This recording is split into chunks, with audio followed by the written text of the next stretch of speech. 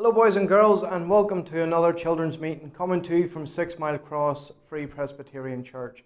This is hard to believe, but this is now week 10 of our online children's meetings, and it's also hard to believe because this is us into the month of December. The year is almost over, and it's so amazing to think how quickly this year has gone in. Boys and girls, we're rejoicing once again at the Lord's goodness and even this opportunity once again to come and have this time with you in the online children's meeting. We're looking forward to singing the choruses together. We're looking forward to doing uh, the memory verse, to doing the story, and then we'll finish as always with the quiz at the end. So when the choruses come on now, you just join in and you sing at home.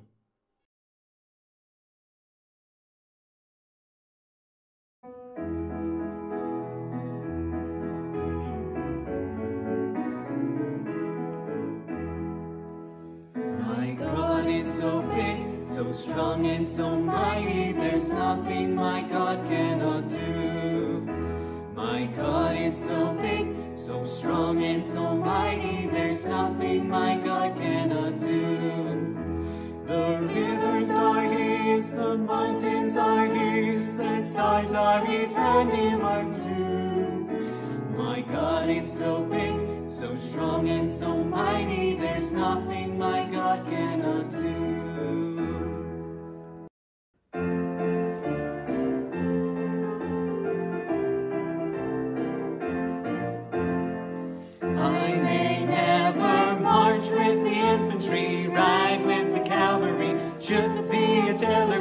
I may never zoom for the enemy, for I'm in the Lord's army. Yes, sir. I'm in the Lord's army. Yes, sir. I'm in the Lord's army. Yes, sir. I may never march with the infantry, ride with the cavalry, shoot the artillery. I may never zoom for the enemy, before we come to our memory verse tonight, we're going to bow our heads and close our eyes and we're going to ask for the Lord's help to learn this verse tonight. Dear Lord and Heavenly Father, we thank you that you have given to us the Bible. And we thank you, Lord, for the opportunity that we have tonight to learn this verse from thy word. We pray that thou wilt help us, Lord, to store it in our hearts. And we pray, Lord, that thou wilt bring forth fruit in our lives from it. We just pray that thou bless every boy and girl who is listening in tonight and every adult at home as well. And for those who take part in the meeting, Lord, we pray that Thou wilt be with them and help them. Help them, Lord, to bring Thy word in simplicity and truth, and that it might be a blessing unto Thee. For in Jesus' name we ask it. Amen. You've already learned seven verses in Psalm 121, and tonight we come to the last verse, verse 8. And the Bible says in Psalm 121, verse 8, The Lord shall preserve thy going out and thy coming in from this time forth and even forevermore. This whole psalm has been telling us about the care and the love and the protection that God has for his children. And verse 8 is like a summary of the psalm, and it says, The Lord, the Lord is, the God, is God. The Lord shall preserve, and preserve is simply a big word meaning to keep. The Lord shall preserve thy going out and thy coming in and that just means your day to day life. No matter where you go in this world, the Lord goes with you and He will keep you from this time forth and even from forevermore. So that is talking about from the time that you have asked the Lord into your heart that God will keep you from that time forth. From that very moment, God will be with you and keep you in His salvation, even forevermore, right throughout all eternity, God has promised to keep us. So, what we're going to do is tonight, we're just going to keep repeating this over and over again, and we're going to repeat it probably about four times. And we're just we're not going to stop in between the times when we repeat it. We're just going to keep going. And you watch the screen, and it's going to get smaller and smaller. But every time that you say it, you'll find you know it a wee bit better. So it'll not matter if it gets smaller, you'll still be able to say it. So are we already after two then? One, two. The Bible says in Psalm 121, verse 8, The Lord shall preserve thy going out and thy coming in from this time forth and even forevermore. The Bible says in Psalm 121, verse 8, The Lord shall preserve thy going out and thy coming in from this time forth and even forevermore. The Bible says in Psalm 121, verse 8, The Lord shall preserve thy going out and thy coming in from this time forth and even forevermore. The Bible says in Psalm 121, verse 8, The Lord shall preserve thy going out and thy coming in from this time forth and even forevermore.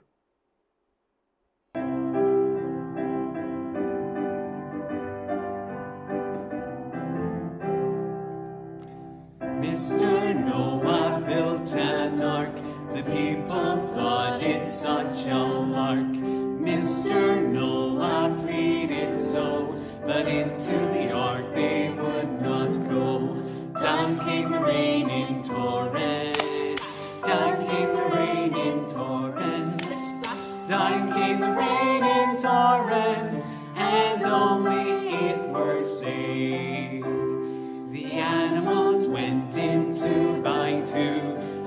elephant, giraffe, and the kangaroo. All were safely stored away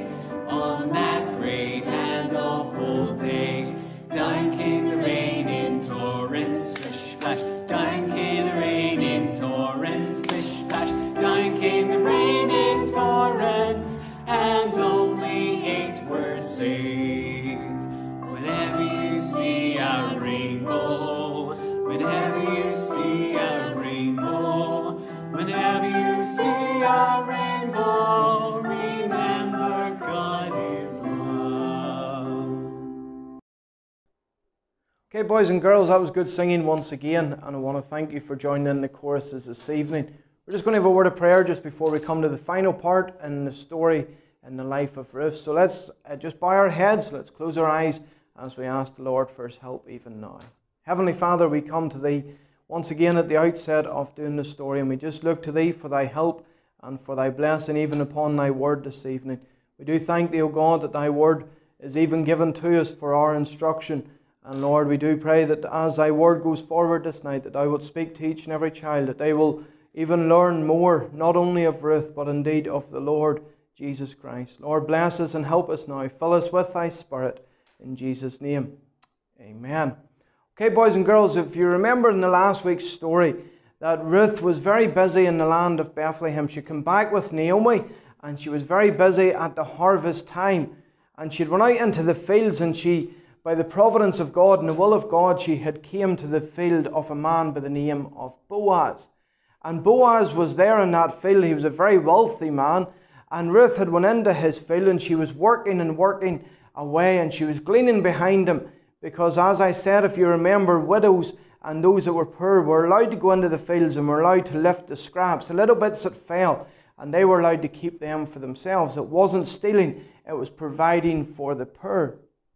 And Boaz had came to Ruth and he had said to Ruth, he says, Ruth, from now on, every day for the rest of harvest, you keep coming back to my field. Don't be going to anybody else's field. You keep coming behind my workers, behind my harvesters, and then you work in my field only. And so Ruth did that every day for the remainder of the harvest time. Ruth got up every morning. She got herself dressed, she got herself ready, and away into the field she went and she worked day after day. And every evening she'd come home and she'd be there with Naomi and she'd show Naomi, her mother in law, everything that she'd been able to glean that day. You know, as the harvest came to an end, Naomi's mind started to think more and more about their future. And of course, at that time, both Naomi and indeed Ruth were widows. Both their husbands were dead, and there was no income. There was no future really for them. There was no system to help them in any way. But according to the law of God, the law had been given to them. The Lord had give provision even for the widow. And one of the rules and one of the laws within the land of Israel was this that if a widow died, or if a man, a husband died, the widow that was left, if that husband had any brothers, or even going further out, cousins, or any other family relatives that were male, then that man, if he wasn't married, was to marry the widow. And that way, then, provision was made for her, for her, care was made for her. and her future then was secure. And Naomi, she knew the law of God, and of course, Ruth didn't. She wasn't from that land. And Naomi sat her down one evening and she said, Naomi, she, or Ruth, she says, I want you to go tonight to Boaz. You see, Boaz is one of our far out kinsman. In other words, he's a member of our family circle, and he's not married. And Naomi sat with down and explained everything to do with the custom, everything to do with the law, and how that the law stated that Boaz, or a kinsman, must redeem her. He was going to be known as a kinsman redeemer. And he was the one who was to come and to marry her. And so, what Naomi gave her was all of the instruction from God's word, and all of the instruction even to how to go about that evening to come to Boaz and even to speak to him. And so that evening, after they had finished their day's work, Ruth, she got washed once again. She got herself clean after a hard day's work, and she went to where the men were gathered. You see, as I said, the harvest had come to an end. And after the harvest, after all of the crops were brought in, the next work that had to be done was the threshing and the winnowing. And so they gathered all to a place called the threshing floor. And what would happen there at the threshing floor every evening time, whenever the wind was up a bit and it was a bit more gusty, then what they would do was they would lift the barley and they would just throw it up in the air. And then whatever fell to the ground, they kept that.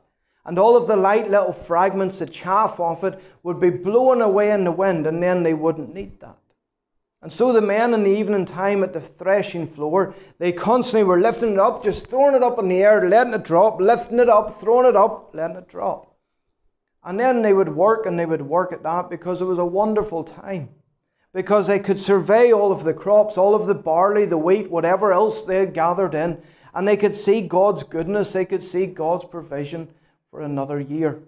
And there was always much joy at that time. And even after they did all of the threshing for the evening, throwing it up, letting it fall, then they would come together, they would sit down, they would have a meal together. It tells us then that all the men always then slept at the threshing floor. See, you had to protect your crops. You had to make sure that no one would come and steal them. And Boaz, like his other men, he got involved in the work of the threshing. He had his dinner with them, and then he went to lie down at that place, even for himself, to guard and to watch over his own crops. And Naomi had explained to Ruth exactly what to do. Whenever Boaz would go and lie down for the night and go to sleep, Ruth was to watch from afar and to see where Boaz would lie down. And so, whenever Boaz lay down, he put his blanket over the top of him to keep himself warm. He put his wee rug there for his head for a pillow. And then he went to sleep. And Naomi had said the custom was this whenever Boaz is there to show the people, and even indeed to show Boaz himself, the intention of the kinsman, and that desire even to be bought back by the kinsman and for the widow to be cared for, then what she would do was she would come in, she would lift the bottom of his blanket, and she would put the bottom of her blanket over herself. You see, what that signified was she desired to be under his care. Just as she would be under his blanket, she desired to be under his care, under his protection. So that's what happened when Boaz lay down. He put his blanket over him, he went to sleep, and Ruth, she watched from afar. And as everyone else was settling down their different places, Ruth came in. She went to where Boaz was. She lifted the bottom of the blanket, she lay down, and she put the bottom of the blanket over herself, signifying she wanted, she had that desire to be bought and to be cared for by the kinsman. Boaz, you can just imagine as Boaz, and no doubt he, he woke up with a jump, with a start, because somebody was there, and he says, Who is it? Who is it? And Ruth says, It's me, it's Ruth.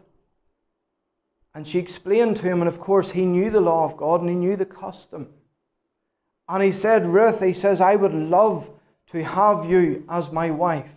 I would love to fulfill that law. I would love to bring you out of that widowhood and even have you in my home and give that care and that protection, that future for you. He says, But yes, it is true that there is a kinsman, and I am your kinsman. But he says, There is one closer than even me to the family. And the law states that it is the closest kinsman that must uh, have the opportunity to fulfill the law first of all. He says, What I'll do, he says, is tomorrow morning I will speak with this man. And I will ask him, I will put it to him if he will come, and he will take you to be his wife. And if he will not, then I will fulfill that duty. I will fulfill that role. And so that night, or that next morning, Ruth, she got up, she went back to her own home. She told Naomi everything, she explained it all, and Naomi said, just leave it with Boaz. Trust Boaz, he will, he will sort it all out. He will meet with the man, and everything will be okay. And so that's what Ruth did. She waited patiently that day. And of course, Boaz, true to his word, the very next morning he went to the gate of the city, that area where all of the men would gather together. Boaz, he sat down and he watched and he waited. And that kinsman, after a while, was making his journey in through the city gate. And Boaz, in the custom of that day, instead of just saying, Hello, how are you? He said, Ho, such a one, sit down here. It's an interesting way of greeting somebody, isn't it?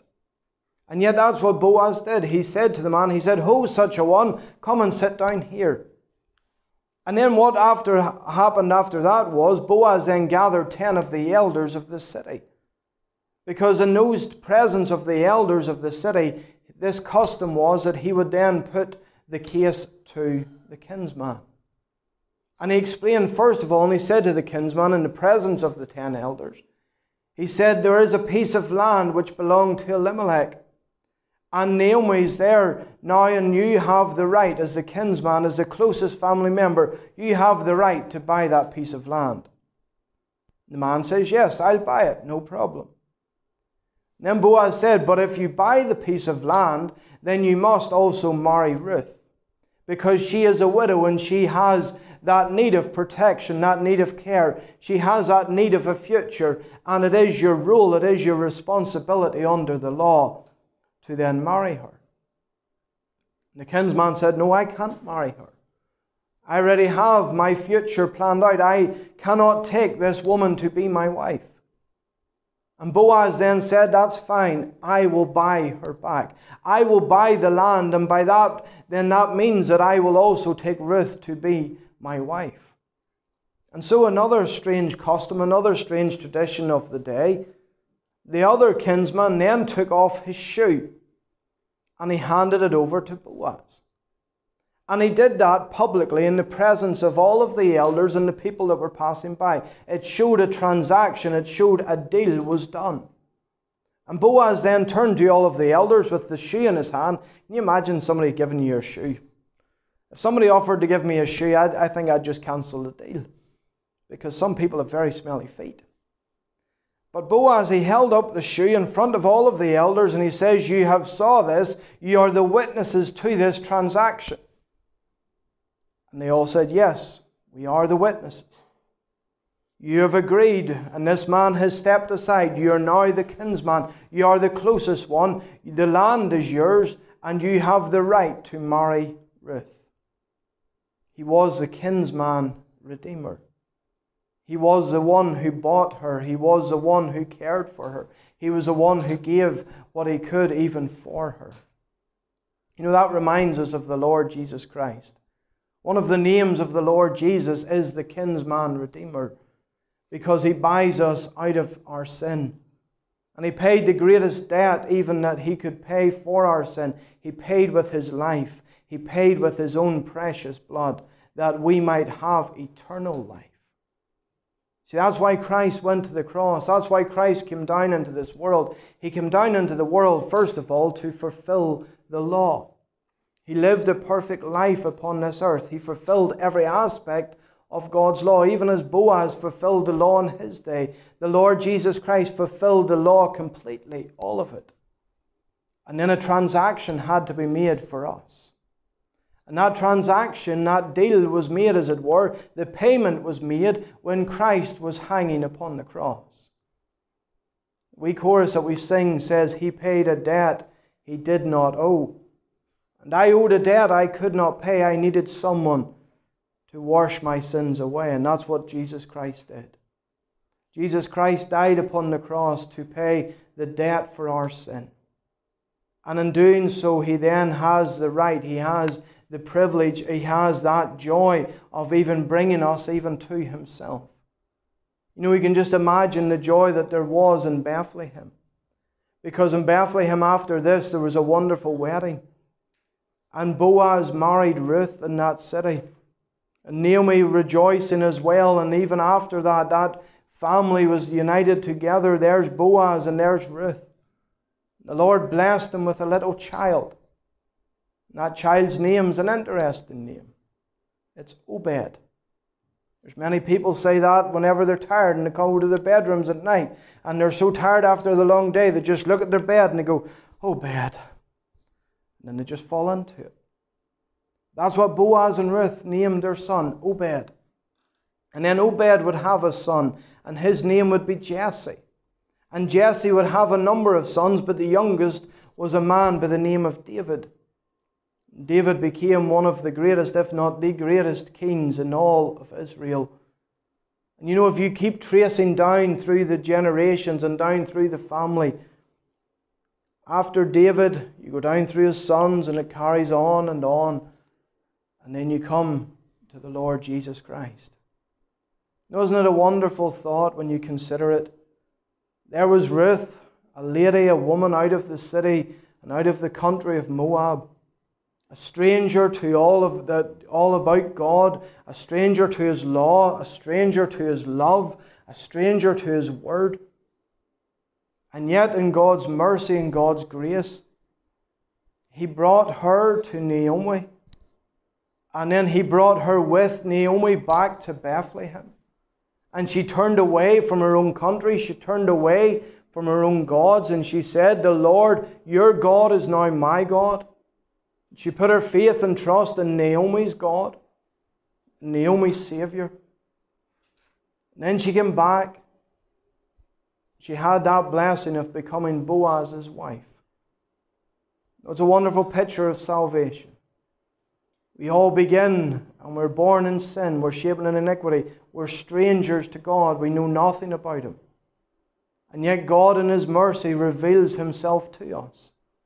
Even through these online meetings, even through the opportunity of opening up the scriptures and even reading the, the, scriptures together, God reveals himself to us. He shows forth his love, he shows forth his mercy.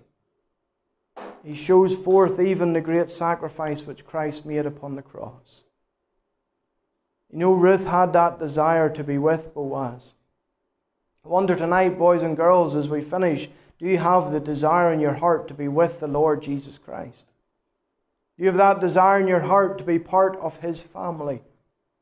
To have the Lord Jesus as your own and your personal Savior. You know, it's wonderful, even now in your own home, you can have the Lord Jesus as your Savior if you simply ask Him. If you simply repent of your sins, you ask the Lord to save you. You ask the Lord to come into your heart, to come into your life. The Lord's promised He will. The Lord's promised that any one that comes unto him, he will in no wise cast out.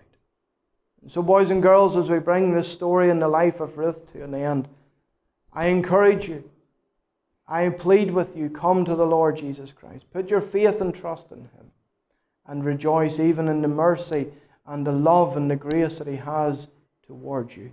We're just going to finish with a wee word of prayer, and immediately after, we'll have our quiz. But, boys and girls, think about what we've been saying. Think about your need of salvation and think about the love of Jesus Christ. Let's pray. Father in heaven, we thank thee for thy precious word. We thank thee for the life of Ruth. We do rejoice in the mercy even towards her. We rejoice, O God, in her kinsman Redeemer there in that city of Bethlehem and the man of Boaz. Lord, we thank thee and we praise thee for our Saviour, our kinsman Redeemer, the Lord Jesus Christ. No, God, we pray that there will be that desire even within the hearts of each and every one this night that's not saved to come and to put their faith and trust in Christ. Be with each one. Bless them, we pray. In Jesus' name. Amen. Okay, boys and girls, so here we are, week 10, and our last lesson about Ruth. And now we're going to do the quiz and see how well everyone was listening. So, as usual, we have Reuben back for the boys and Hannah for the girls. And tonight they have their quality streets with them and their bowls and spoons. So, the idea is they're going to put a bowl on their head when they get the answer right. They're going to have 10 seconds to spoon as many sweets as possible into the bowl on their head without spilling on the ground. And you only get points for those that end up in the bowl. Okay, so we have to see who is listening well first of all. So we'll start with the boys because the boys have a wee bit of catching up to do. Last week the girls won, which meant the score is now 7 4 to the girls. So, Reuben, do you think you're going to do well in this quiz? Try your best. okay, right, we'll make a start. So, whose field was Ruth working in at the start of tonight's story? Boaz. Boaz field, right. So, you get your bowl in position on the top of your head, and I will hold it in place for you, okay? And whenever Jessica tells you to go, you have 10 seconds on the clock.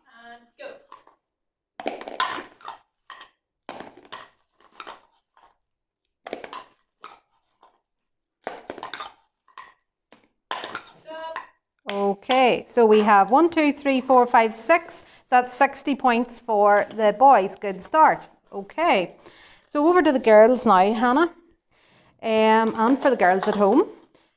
Both Ruth and Naomi's husbands were dead. So what did that make them? What's the word for someone whose husband is? They were widows. That's right. Okay, so give me your bowl. And when Jessica says go.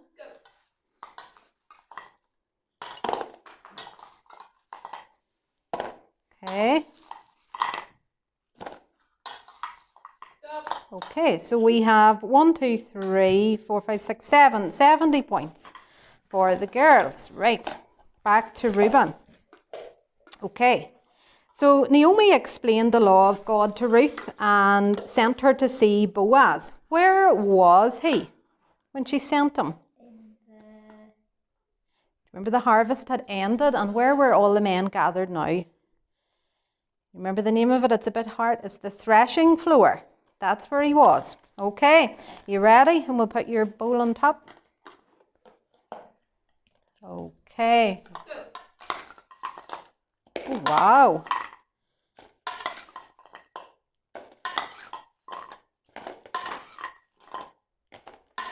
Okay, what do we see? 3, 4, 5, 6, 7, 8, 9, 10, 11, 12, 13. Wow, 130 points, Reuben. Okay, back to the girls. So when Boaz went to sleep, uh, Ruth came in, and what did she put over herself? The bottom of Boaz's blanket. Yes, the bottom of Boaz's blanket. Okay. So, go.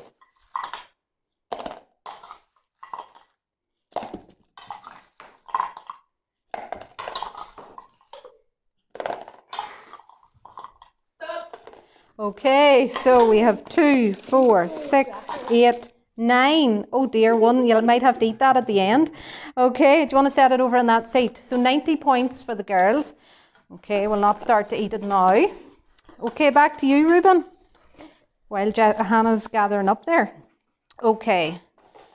Boaz went to the city gate, and remember, he gathered 10 elders and he waited to talk to the kinsman and tell him about the land that he could buy and that he could marry Ruth. Did this man want to marry Ruth? No. No, he didn't. Okay, give me your bowl. You ready? Go. Remember, we're trying to get them in the bowl? Good.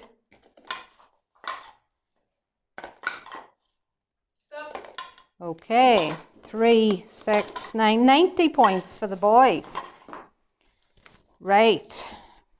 So, so this man didn't want to marry Ruth. So who said that he would become the kinsman redeemer and would take care of and marry Ruth?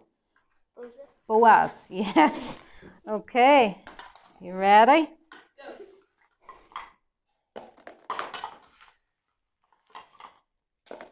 Oh dear. It's more going round the place. okay, 40 points. okay, back to Reuben. Okay. What did the kinsman take off as a sign that a deal had been done? Shoe. His shoe, okay. Ready? Go. Whoa.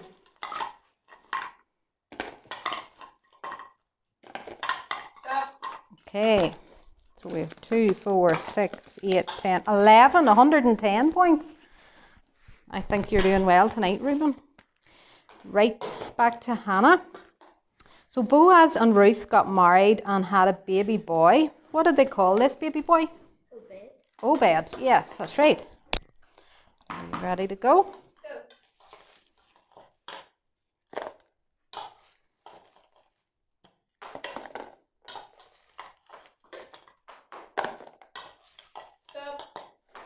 Okay, so we have three, six, nine, 90 points for the girls.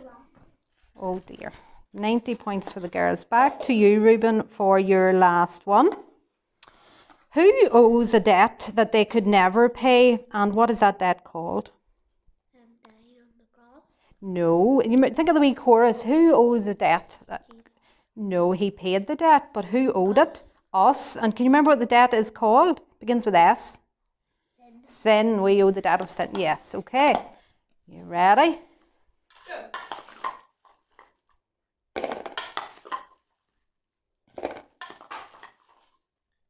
Good man. Okay, so we have three, four, five, six, seven, eight, nine, ten. A good score to finish. That's 100 points for the boys. Back to you for the last one, Hannah. And if you were listening to Reuben, he gave you the answer. Who paid the debt that he did not owe on Calvary? Jesus, that's right. Last go now. You need to make it a good one.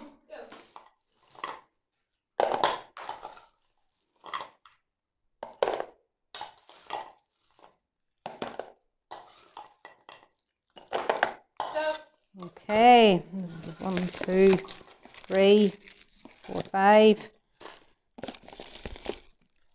six, seven, eight, nine, 10, 11, 12, 13, 14, 15, 16, 160 points. So we'll have to add up the score. I think it's going to be extremely close. And I think our helpers tonight could get a wee treat of having some sweets. Oh, so the girls got 350, but the boys tonight came out on top with 390 points. Well done, Reuben. Excellent. So that means now it is 7 5 to the girls, but you've brought it back a bit, Reuben. Well done. Okay, I think now you deserve a treat. Boys and girls, great job with the quiz once again. Typical boys, very good whenever it comes to sweets being involved, isn't it?